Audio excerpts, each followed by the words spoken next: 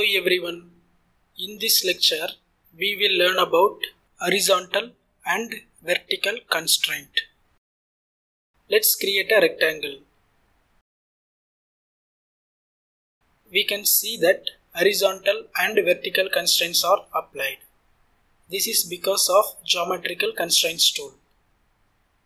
Let's disable geometrical constraints tool from sketch tools toolbar. Now let's create the rectangle again. We can see that there are no horizontal or vertical constraints applied.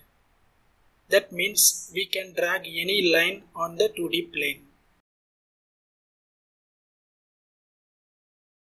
For example, let's select right bottom edge and drag using mouse button 1.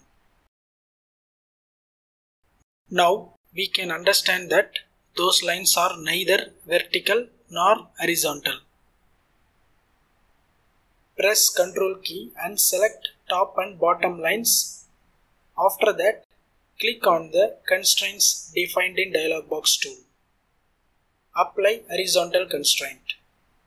A warning message appears indicating that we have deactivated geometric constraints creation tool from sketch tools toolbar and these horizontal constraints are temporary.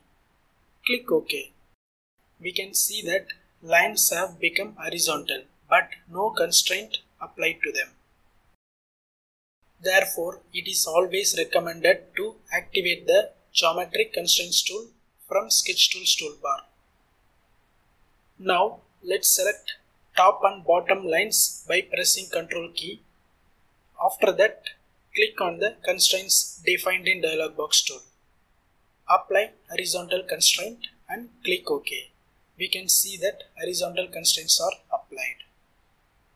Similarly, we can apply vertical constraint.